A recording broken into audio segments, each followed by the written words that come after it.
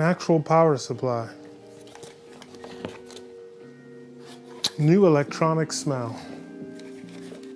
Locking power supply. Okay, there you have it, the ATEM Mini Pro. I wasn't the first to get one, but at least I got one early enough to test it out and see how it fits into my regular workflow. I've been working with an ATEM television studio, the original television studio, for quite a while. I've also worked with the 4K uh, as well as some of the um, their larger ones, the ME ones.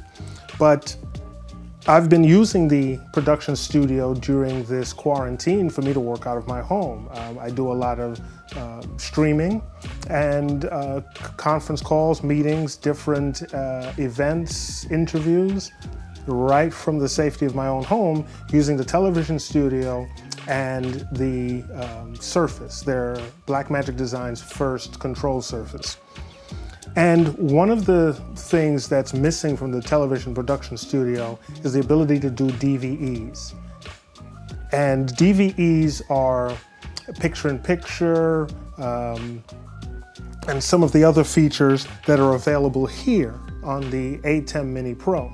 Now, this is one of the times I was real fortunate not to buy the ATEM Mini. I was just about to buy it when uh, the COVID-19 struck and all of them were sold out. And I was so fortunate I waited because they released the Mini Pro and got it out much quicker than I anticipated. And so this gives me options for streaming, for switching that the television production studio doesn't give me, as well as the ATEM, original ATEM Mini doesn't give me. So we're going to run through this. We're going to set it up, test it out. I have multiple cameras set up. I'm going to do an over the top view and we're going to test this out today and see how it's going to work for me moving forward.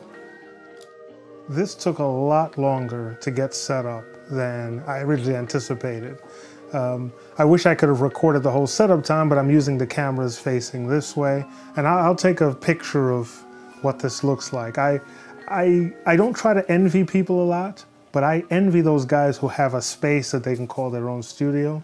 Right now I'm using my living room uh, and that I'm sharing with four other people as, as we try to get through this uh, quarantine situation.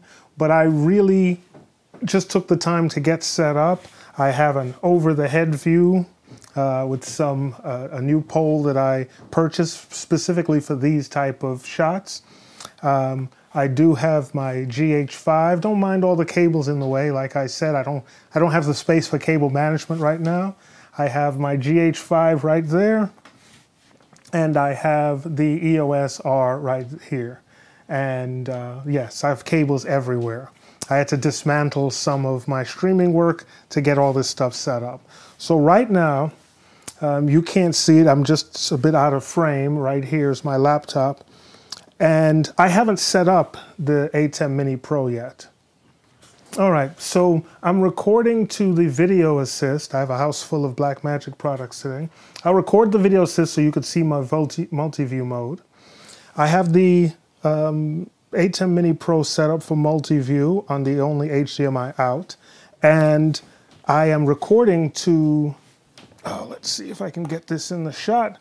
I am recording to my Samsung T5 um, SSD using USB-C in the back of the uh, Blackmagic Design ATEM Mini Pro.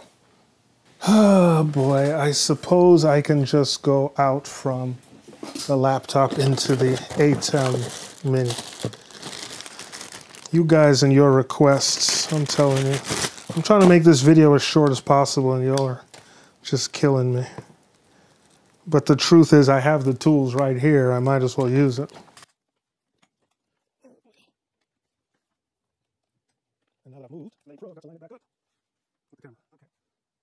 So, are you happy now? You are able to see the laptop. Okay. I mean, that's why we bought these Mini Pros, right? So we can do all this stuff. So right now you can see my television studio on the network and my Mini Pro. So we're going to go ahead and connect. And ta-da! I can go straight switching. Uh, let's see, what am I recording to? So I have my mini view here, my uh, multi-viewer here, and I have, I'm recording also to the SSD. Uh, too bad I don't have time code. I'll just have to sync all this up by uh, audio. I also have my wireless lav going right into Mini Pro. Now, one of the things I really love is that they set your audio controls right on top. You don't have to go into any menu to take care of that. So I can turn on or turn off my mini inputs. They use 3.5 millimeter, 1.8, uh, 1.8, 1 8 inch connector. Thank God. Um, and the you can turn them on and off. You have the two inputs. You have the, uh, complete access to turn them on and off. Now, let's be honest. Uh, for some people with large hands, these buttons are small, but that's why you have the software. You can do a lot with the software itself. So I have my, let's do this.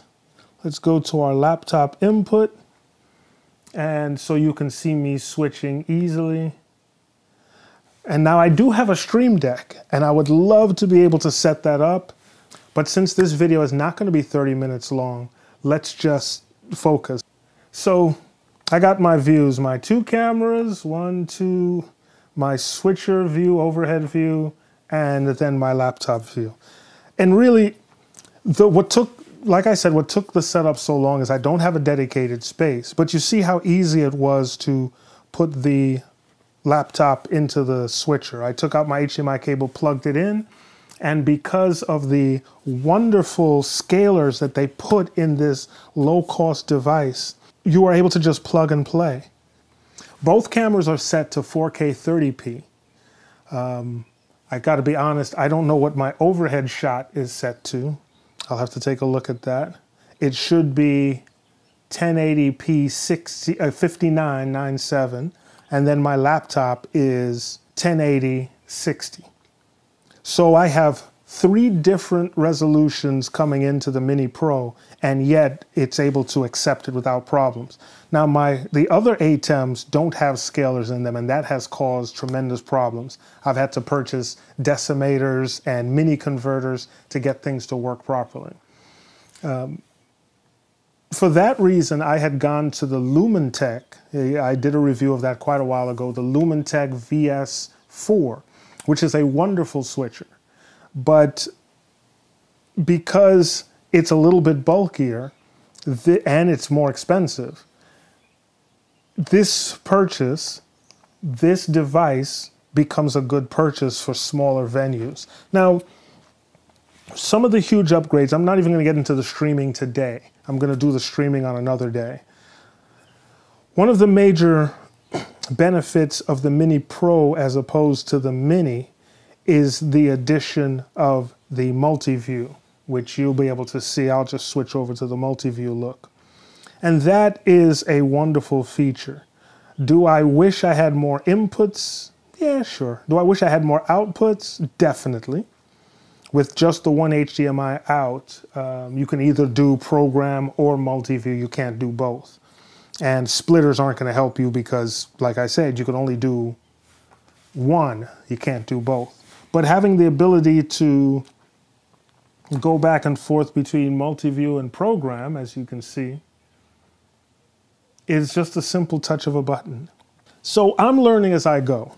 Not that I don't like to read the manual, not that I'm um, not interested in those things, but trying to see how easy this is to set up is crucial. As you can see, our video out is 1080p 60, and as I mentioned, only one device here is set to 1080p 60, and yet we could see it just fine. My audio, I can either pull in audio from, oh, I could split into separate uh, mono channels. This I did not know. So I can record multiple things into mono channels. I'm going to have to do that. When I do the streaming test, I'm going to also enable that so I can see what the file looks like in editing. All right, here you have your audio follows video setting, which is important. Um, right now, as I said, I'm just coming in through my lavalier uh, wirelessly to um, to mic one. So you can see the setting. It's You might be able to see that it's red here, it's turned on, while you, uh, mic two is turned off. So we're both set to microphone and not line. Um, my, the difference is the amount of boost in decibels for the microphone. Microphones come in at a lower level than line, so you get a hotter signal with a line uh, selection. If I were to switch to line, you'd immediately. Actually, when I switched to line, you heard nothing. I, I was watching the audio meter and nothing came through, so I'm guessing no audio came through. So you'll see if you are on line with a microphone plugged in, you may not hear anything. If you're on microphone with a line plugged in, there's a good chance you can just completely distort and overpower the signal. You, on this page, you can adjust your multi-view setting, how it's going to show up in your multi-viewer. And stream status and record status is awesome. Right now, you can see that I'm recording to the USB-C drive, so the recording status is showing recording. That's really great for being able to see exactly what's happening. You can, just at a glance, you can make sure you're streaming and you're recording. Having the audio status in here is also crucial uh, because then you can see your audio levels. I, I love that uh, ability to have that ability. Here you can change your labels. I have camera one, camera two, camera three. I'll turn this to overhead and camera 4 is actually laptop. Now because on this side you only see the shortcut keys, I would have to change this to shortcut. Overhead and laptop. Oh, let's do all capitals. And immediately you see it show up here. And once again, I closed out the settings. Now, HyperDeck. The truth is, I do have a HyperDeck on the network, um, but it's not connected to this configuration. It is uh, an SDI in, and so it wouldn't directly work with this. However, we could um, set it up with a network where we can control it from here. All right? So that is special. Okay, so I need to change out the battery in my EOS R because it just went out. And while I don't really need it for this example, I still have two cameras. I still have the overhead, my GH5, and then the laptop view. I shouldn't have burnt my battery out. So oh, let's just leave it off for now. I don't need it. So you got your upstream key, your downstream key, and you can load in graphics. If you go into media, you could actually load in graphics. Uh, let me see if I can find, let me pull in a graphic. Wow, this is a terrible old graphic I made many, many years ago. So we go back to the switcher select the transition, then I'll put it on the air. Wow, that was terrible. It's way, way back in the day. And then take it off. Now, we can also do the transitions to auto come in, but that's using an upstream keyer because I would rather use an up, a downstream keyer than an upstream keyer. So when we do picture in picture, which is the DVE, we're going to choose camera, oops, we're going to choose camera 2 as our DVE. And I'm all the way up in the corner. You do have these four options. Let me do this again. You do have these four options. Very, very small of which corner you could put it in. Now, going back to this view, you'll see in this section right here, you could raise it. Let's, let's increase the size here. Let's make it one.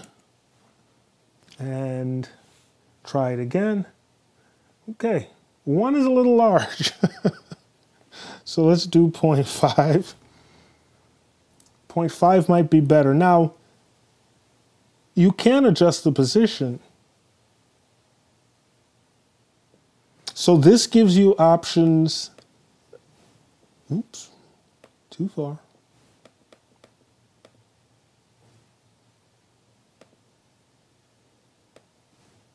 Oops, wrong direction.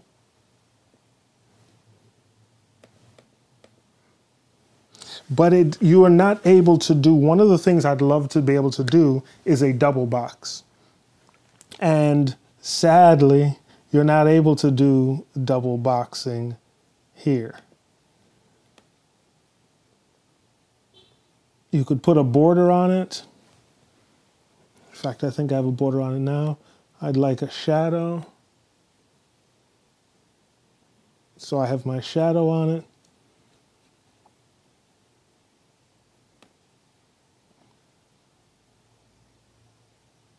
Interesting. You could actually keyframe. I am going to have to play with this. Keyframing your boxes. So you're able to do some transitions here. I see. I set A. Okay, I think I understand now. So I set my A, and I can bring in my A. I click, there you go. So I set A. Let me move it to the other side. and set B. unfortunately, I'm covering it. Okay.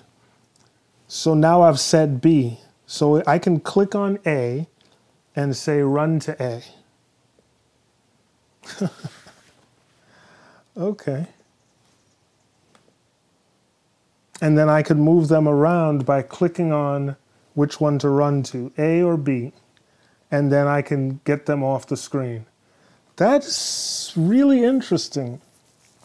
Sadly, though, I still want to be able to do my double box. I want the ability to, especially in these days of um, Zoom conferences or other conferences, and being able to have two people speaking and have something in the background. I think those are really crucial um, elements that I wish were part of this setup. Um, but I'm really impressed with that ability. Set A, well, I can't do it now. You have to turn it on. Set A, set B, now I'm picture in picture with myself. It's really corny. Then I can make my DVE be full, or I can bring it out completely. It may seem gimmicky, but there are places that you can use it. Okay, that's enough with the palettes. I still need to work on downstream key. There's so much to learn. Uh, here you can set your fade to black timing. Oh, well, you can't see what I'm doing. Down here at the very bottom, you can do fade to black and audio follow video. I like that option. Let me try it now. And Yep, and my audio faded right out. I think that's important. That way you don't have any open mic situations like I had yesterday. That's a story for another day. On this screen, you would set up your live stream, your record stream, so you can record to a computer. Yeah, excuse me, your capture video where you record to a computer, and then um, you're able to capture a still. Question is, I guess you're capturing a still of the program. And I'll have to find out where that's saved. I also was able to set up, this is another thing that I like, so I can set up audio levels in two places. I like having it in my program window as well, just because it's what I'm used to with the other ATEMs that I've worked with. This is important to know. When you capture a still, it will put it in the media folder, um, media folders. Um, I think that is really interesting. So at this point, I could pull this over into my media pool and then play my still. and that's what you get. And then I'll go back to the camera setting.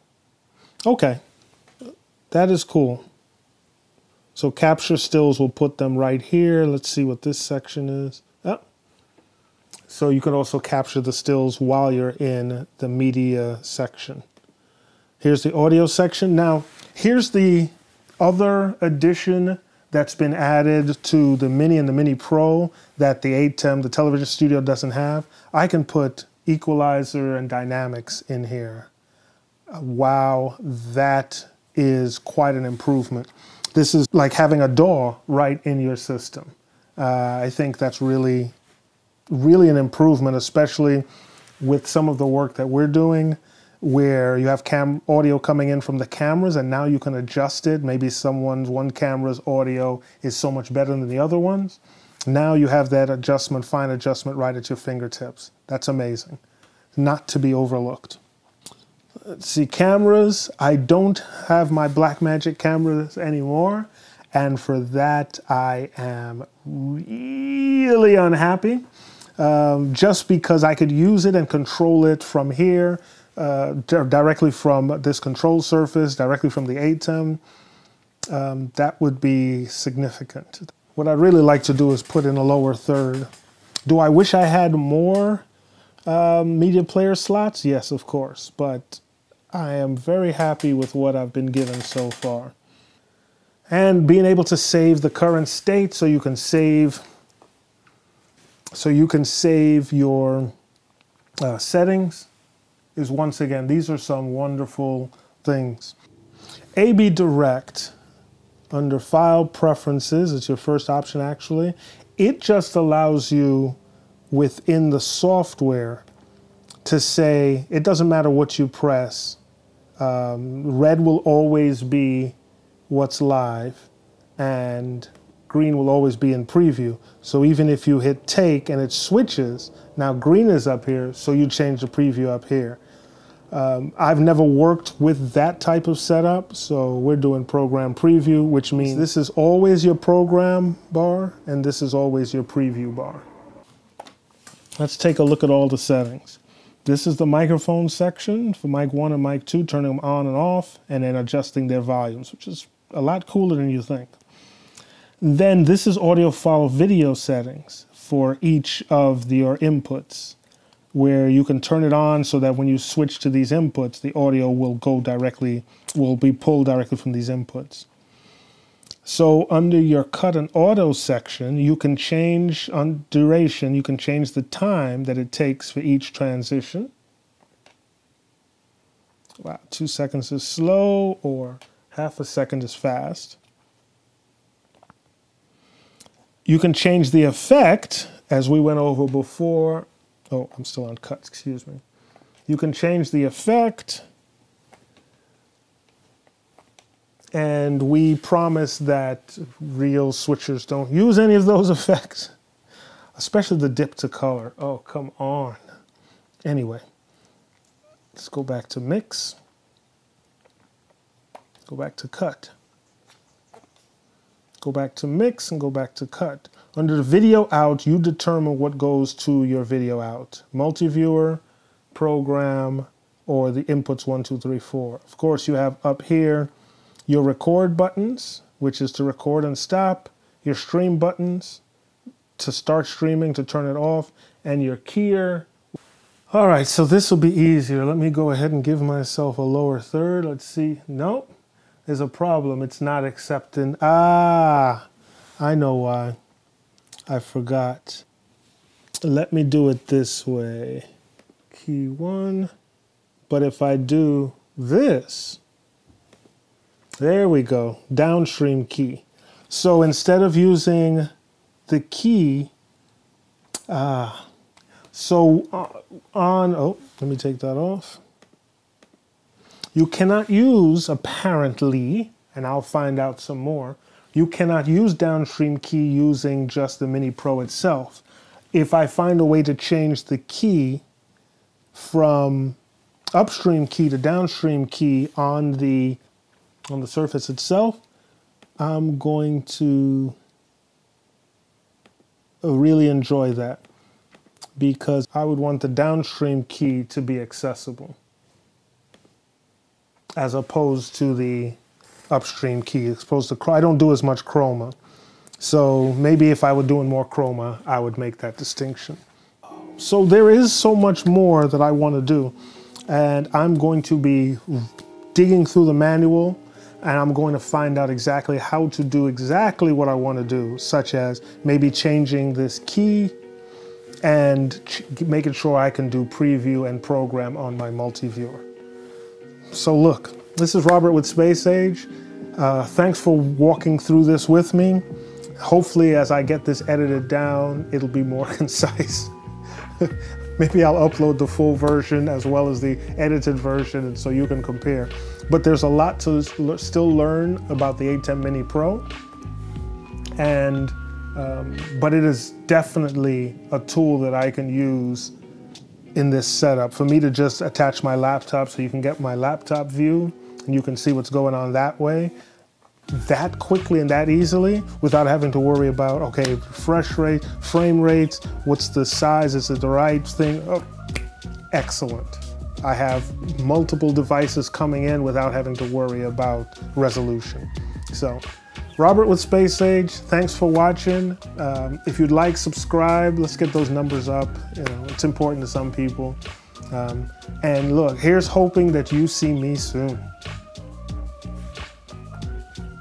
And more of the ATEM Mini. And more of the ATEM Mini software. Well, I found out where to do the adjustment I was looking for.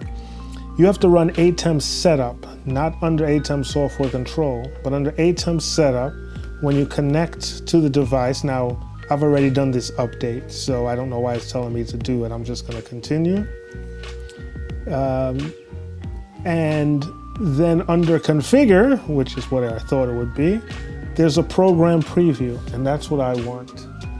I haven't saved it yet, so let's go ahead and save it. All right, save. And now, oh, thank goodness. Now I have my preview. Oh, it makes a difference to me, okay, people? Now I feel a lot more secure now that I've got that set up and I can preview before I cut. And now that I feel more comfortable, fade to black.